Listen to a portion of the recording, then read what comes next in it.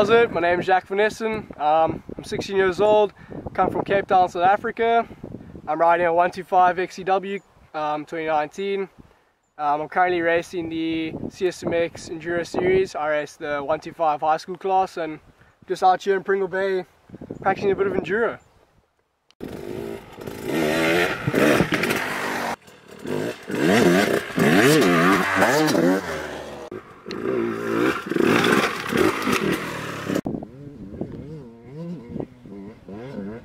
No.